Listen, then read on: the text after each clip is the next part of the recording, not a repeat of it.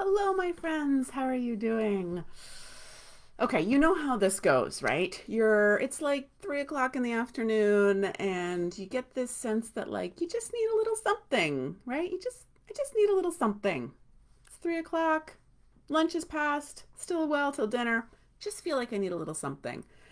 And it's hard to know if that is true hunger or if you're if it's just a craving you know if it's just your body wanting to use food for something than other than what food is really for and it's tricky right because how do you know how do you know whether you're really hungry or whether you're just craving something and you know the, it's important to know the difference between because true hunger is about fueling your body, right? It's about actually your body needs nutrients. If you're actually feeling hunger, your body's signaling to you that it needs fuel, it needs nutrients, and that's an important signal to respond to. If you're craving something, it looks a little different, right? Cravings can come in all different shapes and sizes. Cravings can be you're just bored, you're stressed, you're a little anxious, you're tired, it's just there, it's a certain time of day, everyone else is doing it, you're having a good time. You know, it can be lots of different things that can cause cravings. And sometimes we're both. We're hungry and we're craving something. So it's tricky, right? If this is your first time catching me live, my name is uh, Sara Best. I'm a nutritionist, but people always joke that I'm the nutritionist who never talks about food because I really don't talk about meal plans and all those things. Um, I don't post recipes. I really help people change their habits and patterns around food. I help people understand what's going on in the brain around food and how they can reprogram and rewire that so that they can start to create a relationship with food that is much healthier, is more balanced, doesn't feel like this constant work, struggle, tug of war with their own brain so they can find freedom around food and health and and feel like they're back in the driver's seat. So that's why I wanted to talk to about today about this difference between hunger and cravings because it's it's an important one. And you know, again, sometimes it's really hard to know the difference. And to make matters worse, to complicate things further, many of us have an even harder time understanding whether we're truly hungry or craving because we have spent years training ourselves to ignore when our bodies are hungry, right? We also call this dieting, right? The whole diet culture is about not trusting your body, not listening to your body. If it's hungry, ignore it. If it wants something, ignore it. If it wants more, don't have it, right? Don't trust it, don't listen to it. It's the enemy. That is very much the theme of diet culture, right? Let's be honest. And a lot of us have spent years, decades doing that in some shape or form, on again, off again. And so we've gotten really, really good at ignoring our bodies, at not trusting it, at not listening to it, at not believing it. And so now when we are trying to discern the difference between true hunger and craving, it's it feels very muddy, very complicated, right? Uh, oh, good, Lisa. I'm glad that's helpful. Okay, so here's the thing. The only way that we can start to relearn our body I, I think of it as like relearning your body's language right? Your body is telling you. The wonderful thing the wonderful news in all of this is that your beautiful body does know the difference between whether it's truly hungry meaning whether it need it now requires fuel and nutrients and whether it's just craving something. Your body does know the difference. Your mind might be confused but your beautiful body does know the difference. And again the problem is most of us no longer speak that language. So even though our bodies are telling us the truth, we have a hard time understanding, discerning, picking up the signals, right? We're not picking up what they're laying down.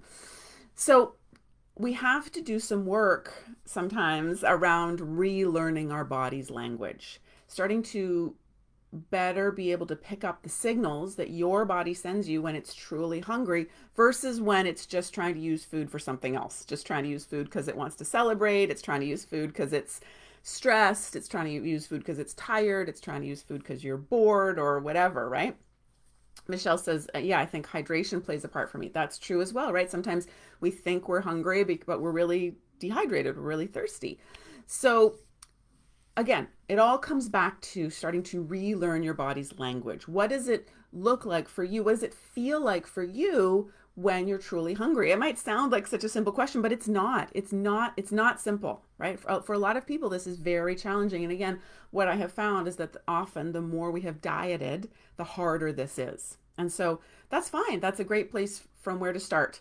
But just know that the work is in relearning this language.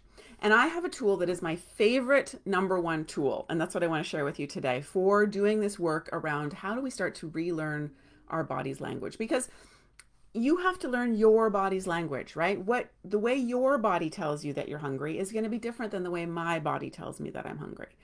And so it's important that each one of us does this work to relearn this language. And my favorite number one tool, hands down, full stop, to do this is mindful eating. Now, many of you may have done the mindful eating challenge with me. I've been running a mindful eating challenge for years now.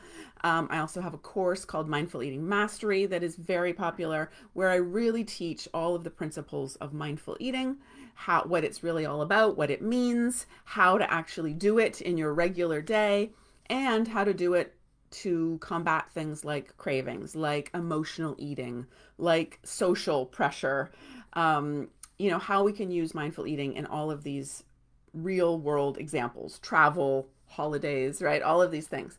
Mindful eating is such a great tool because I love it because it's something that we can all do. We all have access to. You don't need any special equipment. You don't need to have anything with you. Nobody needs to even know you're doing it but you can break out this tool anywhere, anytime to help you tune in to what your body is really trying to tell you and discern whether you are truly hungry right now or whether it's just a craving for some other reason that you can deal with in a different way. So, what I mean what I what I mean when I'm talking about mindful eating is things like, you know, not multitasking while we're eating, right? Not being not eating while you're driving, eating while you're working, eating while you're scrolling through your phone, eating while you're watching TV, eating while you're reading, right? Think about how rarely you do nothing but eat. Maybe never, right?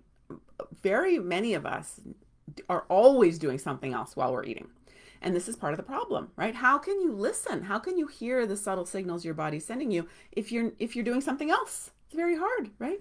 So that's part of mindful eating also things like just slowing down, chewing more, you know, learning how to learning what to listen for when your body's talking to you. You know, this is all part of the world of mindful eating. And it's why I'm so passionate about this as a tool because it's so powerful and also it's something you can take with you all the time anywhere you are. No one has to know you're doing it. You don't need any special equipment. It's the best. So it's why I love mindful eating so much. And it's why I just wanted to pop in today and just encourage you if you do struggle with this idea of like, I don't know if I'm really hungry, if I'm just craving something. Sometimes those, it's, um, it's muddy, you know? I hope that you will start to think about mindful eating and how you can eat more mindfully and how you can use that as a way to tune in and start to listen to your body's signals and relearn your body's language and how it talks to you about whether you're truly hungry or whether you're just craving something. All right. Let me know in the comments below how you feel about mindful eating, if this is something that you're going to try, and how, and what what do you think? What, how do you discern the difference between hunger and craving? All right. Talk to you soon. Bye.